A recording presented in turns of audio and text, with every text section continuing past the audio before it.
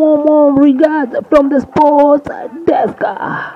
Well, uh, in some latest football vibes from the Premier League, uh, Liverpool hosted uh, Tottenham Hotspurs at Anfield.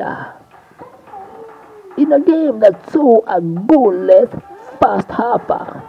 In the second half, Son Heung-min opened the score for the Spurs in the 56th minute and Luis Diaz equalized for Liverpool in the 74th minute of the game.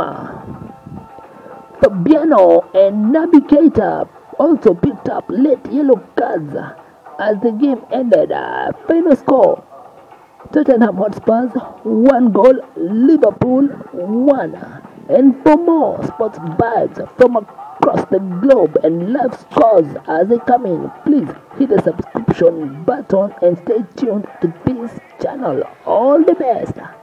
Bye bye for now.